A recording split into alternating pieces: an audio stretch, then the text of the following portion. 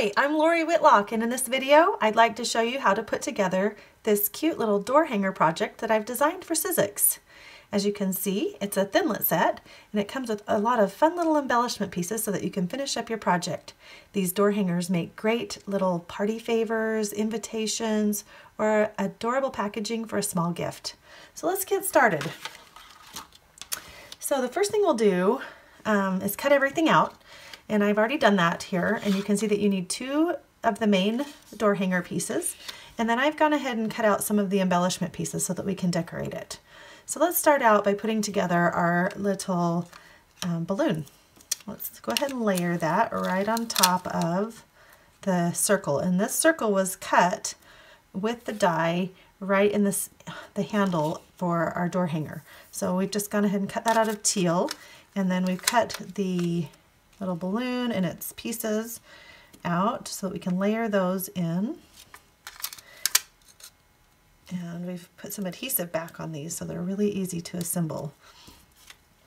And we have a cute little star we'll just add to our little balloon. Okay, and then we have a, a cute little cloud we'll layer on top. I'll put that right here. And then that is ready to embellish our finished, finished project when we're done. So I'll set that aside for now.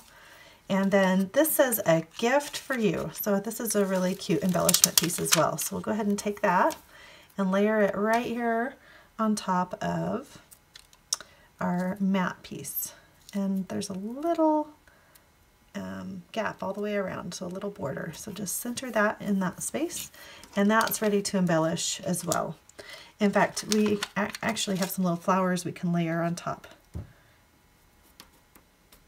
to make that look cute as well. So go ahead and layer those up.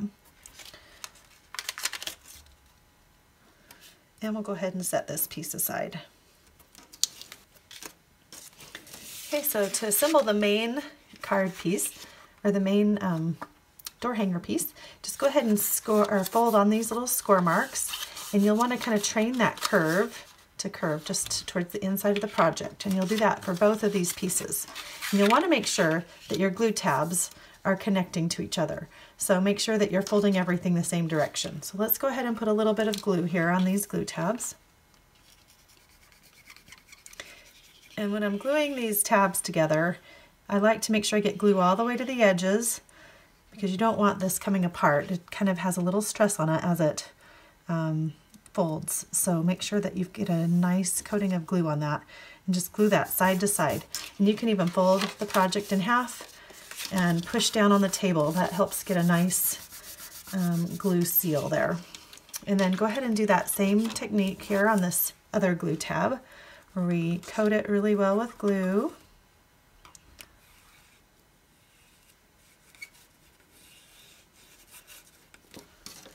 And then I like to use the table again to push down on that to get a nice glue seal on that. So then right now I'm going to let those dry really good before we put it in place. So let's go ahead and put our little balloon on.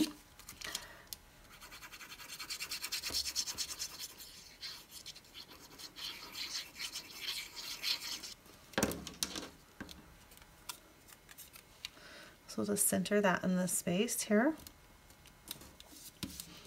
And then we'll flip it over and we'll go ahead, put our gift for you on there. And one thing you could do, just be aware, if you would like to trim off one of the handles, you could certainly trim it off right at the top of those glue tabs and have it open on one side.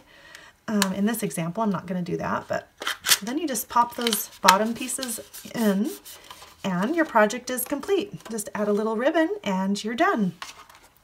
So this is what your final um, project can look like. I hope you enjoy making these door hangers. Have a great day.